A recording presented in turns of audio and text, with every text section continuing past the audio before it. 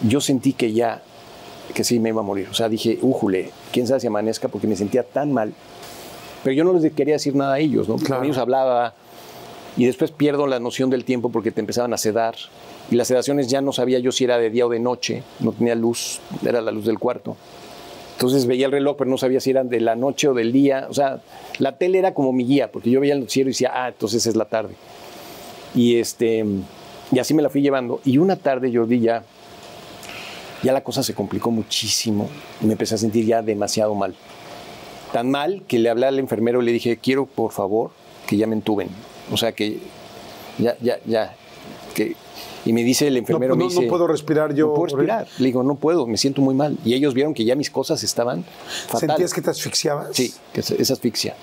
Es la sensación más fea que puede sentir alguien. O sea, yo nunca había sentido una sensación Es como así. ahogarse, como Es cuando estás ahogarse. abajo del agua. Sí, que no puedes respirar. Es horrible, no horrible, horrible. Dormir la horrible. dormida como era. O sea, No, no podía. Me tenía que sedar para que yo estuviera tranquilo y pudiera dormir, pero dormía dos horas, una hora y media. Y el sedante era muy fuerte, regresaba del sedante y era peor. Me venían crisis de, ya sabes, de ansiedad y mil cosas. ¿veías a tus hijos y a tu esposa ya preocupados o ellos estaban haciendo el mismo juego que tú de tratar de darte tranquilidad y tú a ellos? Sí, pero yo ya me daba cuenta que ellos sabían, porque ya era, la, ya era diferente el trato, era diferente la voz, era diferente la, la actitud. Entonces yo supuse que ellos ya, ya sabían, porque yo nunca les dije nada. ¿no? Ok. Ellos entraron en contacto con los doctores, los doctores les iban diciendo mi caso, cómo iba. Perdón que te interrumpa aquí. Eh, yo me acuerdo que en este momento del COVID, como que cuando decían van a intubar a alguien, ahí casi, bueno, no quiero decir que casi era un hecho, pero había un porcentaje muy alto de que no sobreviviera la persona. Sí. Entonces, que tú mismo digas, ¿tú sabías eso cuando pides Sí. que te intuben? Sí, yo sabía que era la antesala de, santa. la antesala del- de la ida, ¿no? O sea, yo sabía. Dije, hasta aquí llegué. Y los doctores siempre fueron muy sinceros. Llegó un doctor y me dijo, mira, si te entubamos va a pasar, puede pasar esto, esto, esto y esto, y va a pasar. Entonces, este, ahí fue, ahí vino un momento muy difícil para mí, porque no me dio, no me dio tiempo de, de- de- de hablarles a ellos para despedirme, porque yo sabía que me iba. ¿Ya no los habías vuelto a ver desde el día que entraste? Había- o no, habíamos hablado por videollamadas, sí, todo videollamadas. O sea, nunca volvieron a entrar. contacto, no. O sea, nunca te imaginaste que esa entrada de chicos, gracias, este Toño, tráeme aquí al, a hospital iba a ser Podía ser la posiblemente última. la última vez que lo ibas a ver. Posiblemente. Pero fíjate qué importante eso, porque luego nunca sabemos cuándo es el último segundo Exacto. que vas a ver a alguien. Exacto. Entonces, bye, bye, bye, ahorita entro, salgo, salgo en un ratito. Tan, no lo hagas. Videollamada. Ok. No lo hagas porque esa fue de las peores cosas que me pasaron durante todo este proceso, que cuando yo empecé, cuando yo pedí que me entubaran y todo, fue un proceso muy rápido. Entonces vienen, te hacen firmar un papel, te dicen lo que va a pasar, pero no te da tiempo de buscar, a- oiga, déjeme hablarle a mi esposa o a mis hijos. No hay ese momento porque justo cuando me estaban preparando para entubar, colapsaron mis pulmones. En ese momento, gracias a Dios, cuando yo lo pedí que me empezaron a preparar, si no hubieran sido un, un caso de extremada urgencia, porque en lo que se tardan en entubarte y todo, pues hubieran pedido muchos minutos importantísimos. ¿no? Entonces coincidió que yo lo pedí, que empezó el proceso y en ese momento se colapsan, dejan de, de funcionar. Entonces todo iba de la mano, pero yo no tuve el tiempo de hablarles para despedirme, para decirles lo que yo hubiera querido. Y como no me daba tiempo, agarré mi teléfono y grabé un video. Y en ese video yo me despido de Carla y de mis hijos y les, pues, les deseo pues, lo que to- todos quieren, ¿no? Y eh, a Toño un mensaje, a Carla un mensaje, a mi esposa un mensaje. Y no me da más tiempo de más. Y hasta ahí se quedó. Entonces le dije al enfermero, por favor, cuando me entuben, denle este teléfono a mi esposa porque les dejé un mensaje aquí. Y ya no había tiempo de hablarles, o sea, no había ni un minuto de poder hablar y, de- y- y decirles, ojalá nos volvamos a ver, o sea, nada. ¿Qué le dijiste a cada uno del mensaje? Me ¿Te acuerdas? despedí, sí, les dije, bueno, cositas en general, ¿no? De, a Toño, pues que le deseaba que, que, pues, que antes que nada fuera feliz, que tuviera una vida muy buena. es que me acuerdo y me duele. Y Carlita le dije, gorda, que seas muy feliz, que tengas muchos hijos, siempre estaré contigo donde quiera que esté. A Carla, pues le di las gracias. Y le dije, mi amor, eres el amor de mi vida y ojalá te vuelva a ver. Pero era la despedida. Era muy fuerte. Gracias, gracias amigo. Perdón, ¿eh? pero es que, No, no, no. híjole, me acuerdo y es que son momentos muy difíciles porque si yo hubiera tenido tiempo, pues le hubiera hablado. Y hacerlo por teléfono no era lo mismo, pero me hubiera quedado el consuelo de, de hablar con ellos. Y ya no me dio tiempo de más. Y en ese momento me dormí y ya no, ya perdí el, el conocimiento, perdí la noción de las cosas, ya, ya no había. Me lo dijeron ellos, me dijeron, este, a partir de ahora, tú solo Dios sabe qué va a pasar. Ah, ok, gracias. ¿Rezaste antes de la Sí, intubada? claro. No, yo siempre. Me, me pasó una cosa fuerte, Jordi, porque el, el decir que sientes a Dios no es por decirlo, no es porque es tu fe.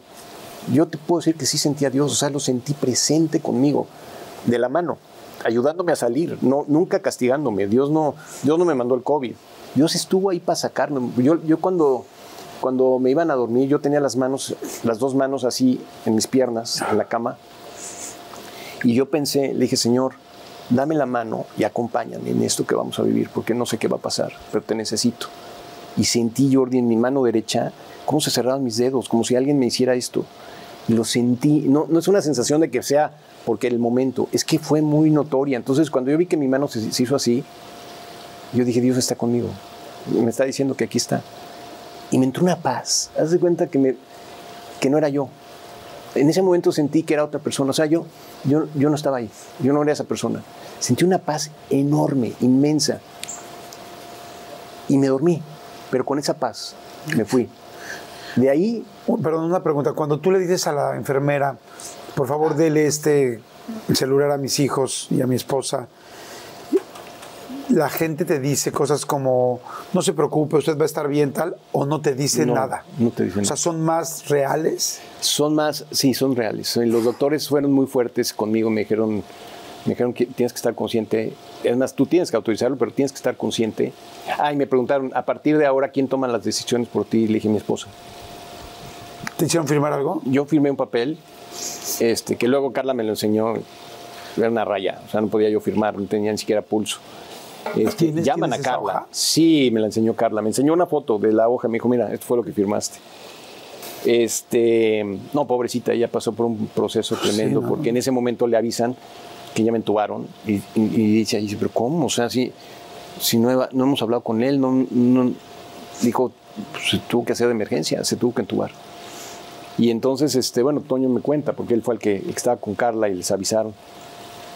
Que ahí fue donde empezó todo el, el- el proceso difícil, ¿no? Porque yo entro a un coma inducido, que, por, que cuando yo despierto de ese coma pienso que pasaron cinco días, seis días, eh, y después me entero que fueron cuatro meses. ¿no? ¿Te dijeron cuando pediste que te intubaran que te iban a- a generar ese coma? No, no, del coma nunca hablamos, nunca hablamos de eso. Me decían que, pues, es un proceso donde desconectaban mi, parte respiratoria para que le hicieran una máquina. O sea, me explican todo, ¿no? Cómo iba a funcionar, pero nunca me hablaron de un coma. O sea, nunca me dijeron, vas, vas a estar en coma. Me conectan una máquina que se llama ECMO, que me te la conectan por acá y va de la femoral y entra por, entra por la ingle, saca toda la sangre, la limpia y la vuelve a meter. O sea, hace la función de los pulmones, ¿no? Y este, porque los pulmones quedan totalmente parados. Entonces esa máquina trabaja por ti. Pero es una máquina que es una máquina, o sea, está trabajando por tiempo, por presión. Y entonces cuando entro al coma, lo primero que me pasa es que me viene una hemorragia interna fuertísima porque se me revienta una arteria. Pero no sabíamos que era eso. Entonces, eh, ya estando yo en el coma, le, le llaman a Carla y le dicen que, que las cosas se complicaron. que tengo una hemorragia interna que no han podido parar.